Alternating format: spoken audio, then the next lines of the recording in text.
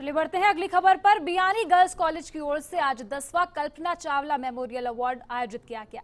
कार्यक्रम में मुख्य अतिथि के रूप में एस्ट्रोनॉट कल्पना चावला के पिता बीएल चावला भी मौजूद रहे। वहीं कल्पना चावला की स्मृति में आयोजित इस अवार्ड समारोह में दसवीं की परीक्षा में अच्छे अंक प्राप्त करने वाली 350 छात्राओं को भी सम्मानित किया गया।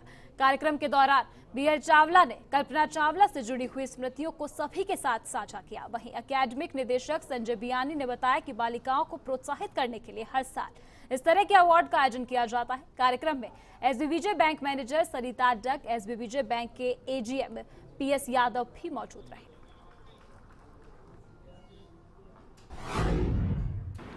कि जो पेरेंट्स अपने लड़कियों को पढ़ाने के बारे में नहीं सोचते उनको ज़रूर पढ़ाना चाहिए।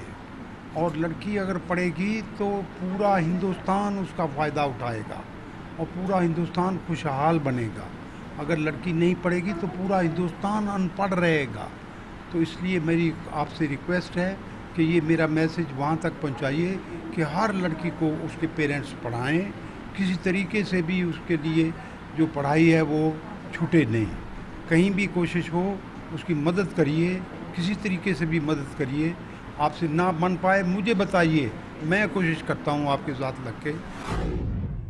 देखिए, ये दसवीं बार है जब कल्पना चावला मेमोरियल अवार्ड हमने रखा है। इंटेंशन ये है कि लड़की अगर मोटिवेट हो जाएगी, अगर उसमें उत्साह क्रिएट हो जाएगा तो वो एक बहुत बड़ा काम कर सकती है सोसाइटी के लिए। तो लड़कियों को पढ़ाना नहीं बल्कि ठीक से भी पढ़ाना है। उन्हें मोटिवेट भी रख करना है। उनके अच्छे काम की सराहना भी की जानी है।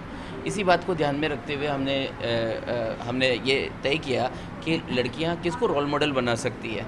हमें जवाब मिला कि कल्पना चावला जो कि विदेश तक पहुँचने का सपना रखती है जो सामान्य घर से परिवार से होती है करनाल के छोटे से गाँव से निकलती है और नासा तक पहुँचने का जर्नी तय करती है।